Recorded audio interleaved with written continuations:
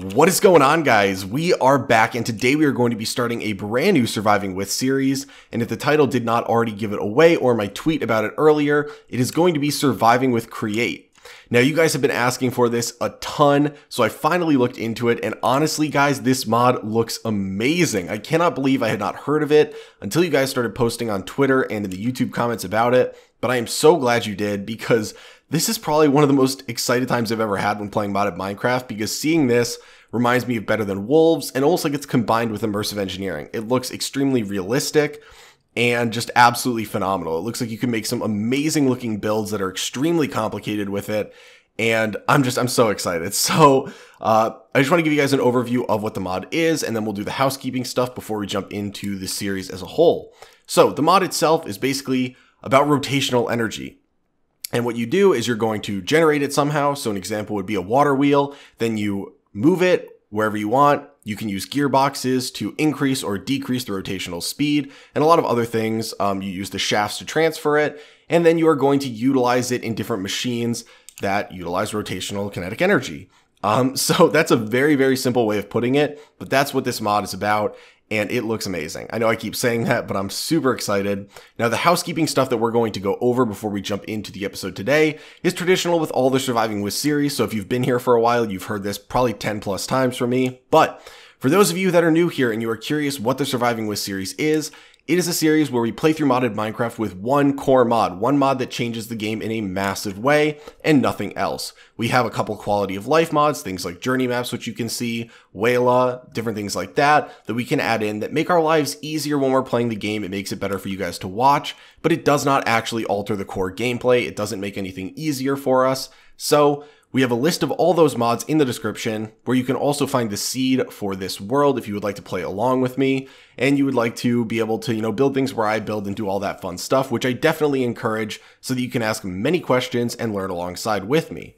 So that was a mouthful, but now we are finally done and we can jump into the cool stuff. But first, we need to sleep. And that is because it is nighttime out. I can hear an Enderman outside and I definitely don't have enough stuff yet to actually tackle an Enderman or, you know, a couple creepers or stuff. So we're not going to deal with that. But one thing I will say is that if you are curious, yes, I've already played in this world. It was recommended to me a while ago that I actually start the series once I've played a little bit so that we don't have to do the punching of the trees, the mining of the ore, and we can actually jump into modded Minecraft right away. So, as is typical with every modded Minecraft series you will see, the first thing that we need to do is get some kind of power. And we're not going to be putting up a generator and putting coal in it or something today. We're going to be starting just like we did with immersive engineering. And that is by going to the water wheel. So now we will have done this for two series in a row, but trust me, this one is a little bit different. And so we are going to make the water wheel and we're going to learn a little bit about rotational energy that we generate in this mod, how we're going to move it a little bit using the shaft, and then we are going to use some gearboxes, and then we are going to finally, hopefully, be creating, where is it? Somewhere in here, we're going to be making the metal press. And I don't know if I actually grabbed all the stuff, the mechanical press to make this, but we should have plenty. Um, so we're going to be making that, and this is all in the attempt to eventually get to the crushing wheel, which is going to allow us to process our ore and get a couple extra pieces out of each one. Maybe. I think there's like maybe a 30, 50% chance that we can double our ore. So that is the first goal we're going with. We're not going to get all the way there today because it's a pretty lengthy process. But like I said, starting with the water wheel. So it's actually not super expensive to make, um, but it does require andesite, which is something that I've never really had to work with in other mods. So I find it pretty interesting. But we need some iron, some wood planks of some sort, uh, one oak log or any log, and then some andesite. So first thing that we're going to be making are going to be the slabs. So we're going to make two sets of those just because we're going to need eight. And then we go back in here and we need to make the large cogwheel. So to make this, we need buttons, we need planks, which are very easy to do, but then we need andesite alloy. And this is why we need andesite in this mod, which again is funny because I never ever use andesite. I always chuck it out. I'd rather have cobble for things and just use stone. So when I actually found out I needed that, I had to go mining specifically for andesite so that we would have enough. And I'm apologizing if I'm pronouncing that wrong, but I don't think I am. So we're going to take iron and make it into iron nuggets because we can use these in combination with the andesite to make the alloy. And so I made five because we need a lot of these today. We probably need more, honestly, but we can go through now and if we make the buttons, which I'm forgetting, we need four of those. We'll probably need more later. Now we should be able to make the large cogwheel. We'll get two of those. And then we go through and we make the water wheel. Now we're only going to make one for today, just so we can cover how it actually works. But eventually we could make more, and I think they're pretty easy to just line up next to each other and get a ton of power from them. So the next thing that we are going to make is going to be the shaft. And this one is going to be two andesite alloy to make eight. So that's really easy to do right there. And something I will bring up right now while we're going through this is there is not, as far as I'm aware, an actual book in the game to help you learn about this stuff. You see a couple pages here, but these are all like schematic things. There's no essentially in-game wiki like some mods have. There is a wiki online, but in-game, if you need quick info, if you mouse over any of the actual machines, you can hold shift and it will tell you a couple things about it. So it's going to tell you how many RPMs uh, it has, depending on how I guess with this one you set it up. And then it will tell you that it provides rotational force taken from adjacent water currents. So yes, there is an ideal way to set this one up, having water around every single side except the one, and that will get you the most RPM. And then if you look at other things such as, let's say, the mechanical press, it's going to tell us that it's a forceful piston for compressing items beneath it, requires constant rotational force. You have stress impact, which we'll go over later, and then things about redstone. But that's where you can get all the info while you're actually playing through it. And uh, it's, you know, it's pretty useful. You might find more in-depth info online or potentially from one of my videos or someone else's, but it should let you know in general what things do and if you should go for them or not. So that was just a brief overview. The next thing that we are going to be making, since we have the water wheel, we can generate it, we can now transfer it, is we need to be able to redirect this rotational force. And we are going to use a gearbox for that. Now the gearboxes can uh, switch the direction of the rotation, they can change the angle of it, things like that. They do not change the speed though. So we're going to be making this and it requires an andesite casing and four regular cogwheels, which require andesite alloy and eight buttons. So we'll grab out and we'll make eight buttons. We've already got the andesite alloy. And thankfully that's going to make us multiple of these. So then the only other thing that we're going to need to make this is going to be the andesite casing, which I think we need more andesite alloy for, which is not a problem because I believe I have extra andesite in here, thankfully. So we can grab this out and we should probably just make a bunch of this, but there we go. So now we got five and we should be able to make, whoops, clicked on the wrong one. The andesite, or the, yeah, the andesite casing. We're getting so many recipes unlocked here because I've never done anything with this so far. So then we make the gearbox and there we go. So now we can transfer. I believe we are going to want this gearbox um, because I think we are going to be pushing it down, but time will tell on that one. And then I think the only other thing that we need to do is to make the mechanical press, which the only thing we have left is a block of iron. So we'll grab some of the iron from in here. I got a little bit. I don't have a crazy amount. I haven't done too, too much mining. But uh, yes, yeah, so this is what we're working with in here. Um, and if you guys didn't notice, we're living in a village right here.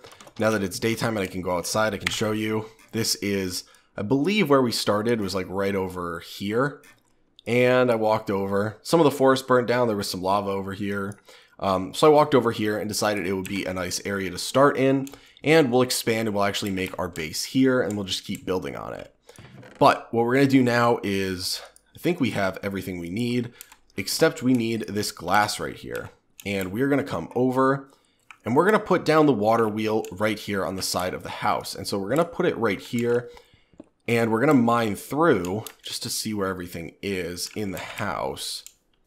Okay, so this is where that would come out with the rotational force. So that's actually not ideal. I would have liked for it to be a little bit higher up. So maybe we'll go right here. And this still is not ideal. I'll be honest, but I think it should work. So we'll put cobble back down here and we can bring stuff in. Man, this is darn. Okay. Well, whatever. So we'll fill in with, hmm. Well, we'll put the water wheel down for now. So we'll put it down here and you can see that this actually does, well, it should have water going a certain way. So you can technically with a water wheel have water going this way and it will still spin. Or you can have water going this way and it will spin a little bit faster. Now the reason is because you want the water to catch on whatever you would call these, these sort of paddle-esque things. You want it to actually catch on them in the proper way. And obviously if water is flowing that way, it's going to be catching on these and pushing it much easier than if it was flowing this way. It'll still spin it, but due to the angle of these, it would not actually be catching the water and getting as much of the force to turn it. So you actually do have to follow that logic when it comes to this. So we're going to want the first bucket of water to go up here. And because of that, we're going to clear out these stairs up here that just were on the building to start. We'll put down some cobble. And then we're going to put down our glass out here. Because unfortunately, since we need to have it essentially around the entire thing, there's no good way to make it very aesthetically pleasing. So we're not going to try for that. Uh, we'll just go with it. So we're going to have water every block around this except this one where the mossy cobble is. So we're going to put glass to encase pretty much the whole thing. So we'll put glass like that.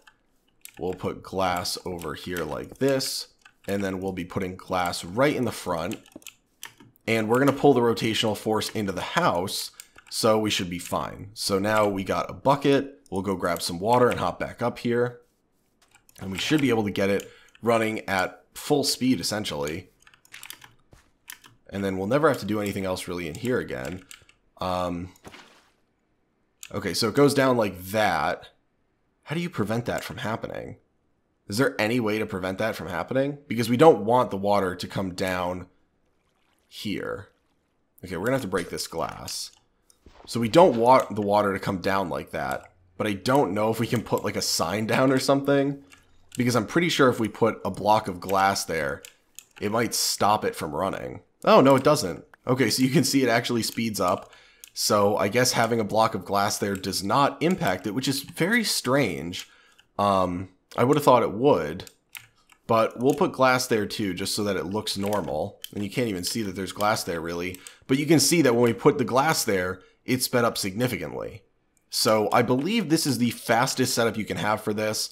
Um, we should be getting, I don't know if these are actually accurate, um, but if you wanted to measure it and see if you actually get the listed 15 RPMs, that would be awesome. There might be a way to measure it later, but uh, I'm not going to sit there and try and find out. So what we can do now is mine through this block. And if we were to put down the shafts, they can connect and it will just pull the power immediately right out of this. So we put one down, we put another one down, and you can see they are now spinning.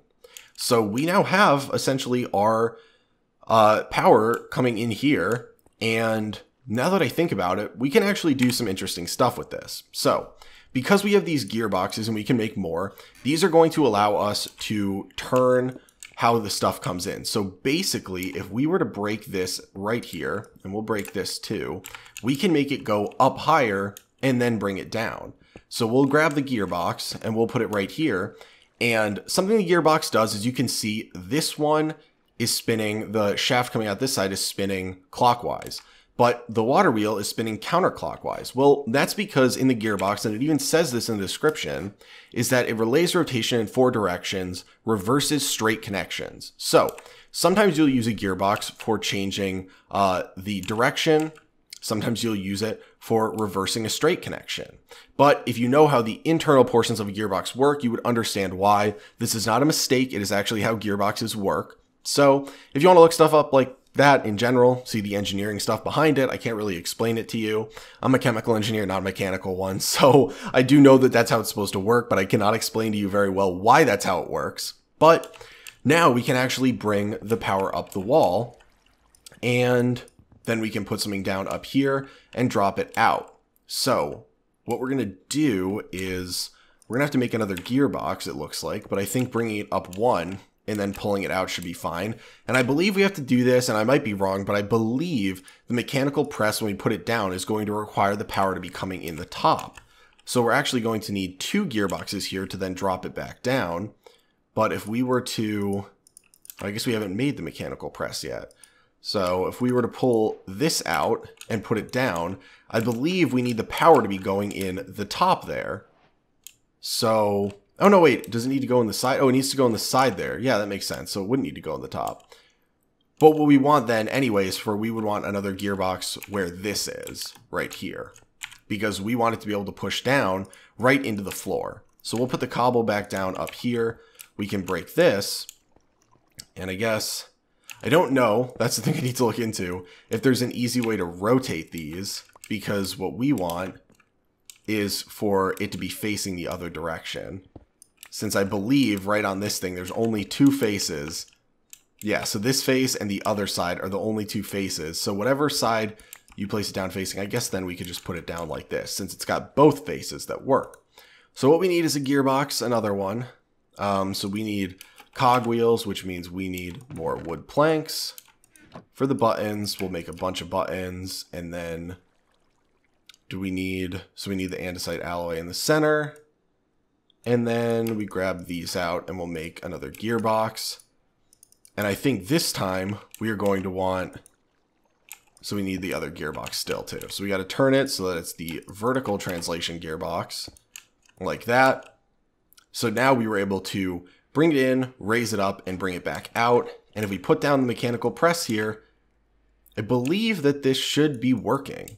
Okay guys, so sorry about that, but I was a little bit confused. But it turns out, like I said, you guys are learning this along with me. It turns out when you actually look at the descriptions in this, uh, if we look at the mechanical press, it says when powered by redstone and uh, when above a mechanical belt. So for some reason, much like other mods, you have ones where you can set it that redstone does stuff. This one, I read that and I assumed that that was the case, but actually that means you need to power it by redstone to get what you want, which makes sense. So it's not constantly running because let me tell you, this thing makes some noise. So it says when powered by redstone starts to compress items drop below it. So what we can do is we take the iron ingot, we throw it below, if I could actually accurately throw it below, then we push the button, it falls down, and now we have, we the achievement Bonk, which is pretty accurate, and we now have an iron sheet. Now it's funny because it's iron sheets, but uh, you know, I'm not going to get too technical about the fact that a single item is listed as sheets. But now we have that. So definitely probably want to either expand upon this house or move this stuff since if we're going to be having a bunch of things in here where we have a bunch of rotational stuff working and it being translated all over the area, uh, we're going to need some room, but I'm actually pretty happy with this because, um, yeah, we got one thing working, and now we are one step closer to getting the crushing wheel, which means we need to make the mechanical crafter, which means we need a couple different things, including brass sheets, electron tubes, all stuff that we'll be working on getting next episode, because I think that's going to be it for today, guys. Now, let me know if you are thrilled about this series. Um, I know a lot of you guys have been asking for this mod. It looks absolutely phenomenal, like I said, and it seems like one that is getting a lot of support. And this is actually my first chance at playing the 1.14 version of Minecraft, since if you play modded Minecraft, you would know that pretty much every other mod that's sort of the older ones are maybe up to 1.12, but I've never played past that. I think Immersive Engineering was my first time playing 1.12 even. So pretty excited to be trying out all the new Minecraft stuff in general and getting to play a more up-to-date mod that seems absolutely phenomenal. And don't be fooled by the fact that there isn't a ton of stuff here because it's basically like an infinite puzzle. Each one's a puzzle piece and you can just make whatever you want out of it. I guess that doesn't make really much sense because puzzle pieces make one thing, but I have seen puzzles where every piece connects to every other piece and it's like a galaxy puzzle. So if you know that, if you've ever seen that, that's basically what we're working with here. You can connect whatever you want to whatever you want. It's like Legos. Okay. That's a more accurate thing that everyone probably knows. It's like Legos. So we can basically build whatever we want from this. It's super awesome. I'm super excited, but now I'm rambling, but that's going to be it for today, guys. Hopefully you enjoyed the video. If there's anything specific you want to see covered in this series over the next couple episodes, feel free to ask. Thank you guys for the awesome recommendation, and I will talk to you guys later.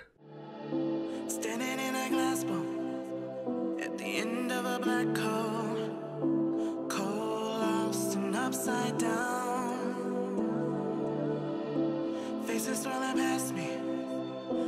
memories rolling vastly.